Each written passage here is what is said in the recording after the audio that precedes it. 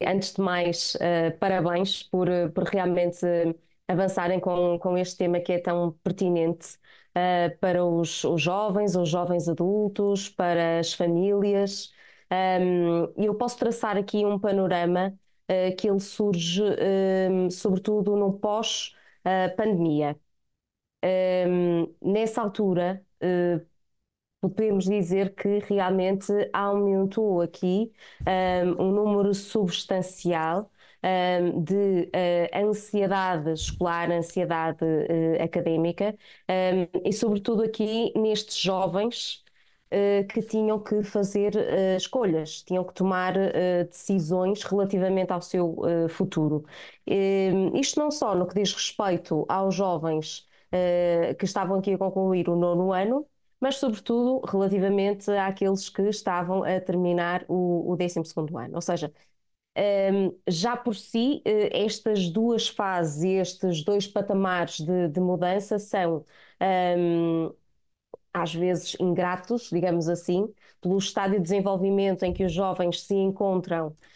e que os obriga um, a projetar-se uh, uh, na sua linha de vida relativamente a interesses, a escolhas, uh, que não estão no tempo presente, não, não são perceptíveis no, no imediato, uma vez que estamos aqui a falar de, de anos fulcrais no desenvolvimento da, da identidade, é? e a crescer a esse fator, portanto, tivemos aqui esta incógnita e esta pressão que representava também a pandemia. E as variações que